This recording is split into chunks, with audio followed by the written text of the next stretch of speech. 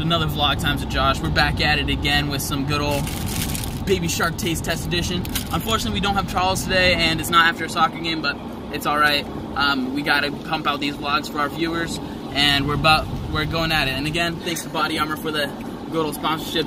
We got the nice strawberry banana. That's all you got to eat because it's yummy. And Caleb's in the front seat. He's our executive producer. He supplies everything for this video.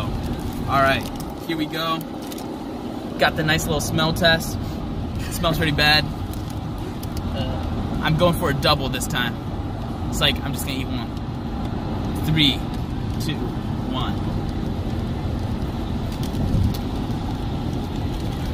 It's a gummy. and it doesn't taste good. It's gonna take a long time to eat. Alright, in the meantime, Toby's gonna eat one as well and share his thoughts. And so our executive producer, Caleb. It's good. What do you think, Toby? It's a gummy. um, they take a long time to eat. That's true? Alright. Can you hold this? yeah. So, it's taking a long time to eat. That's when a good time for body armor kicks in. Gonna drink that, wash it all down. Smell test never disappoints.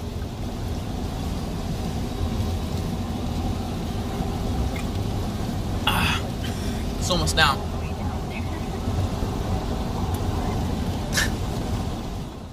all right, Toby tried to decide to stop the vlog. He was trying to be the cameraman, but then he started drooling all over the place. all right.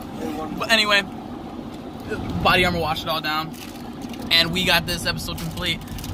Don't buy those baby sharks; they're not good at all. They're good. Not for the price.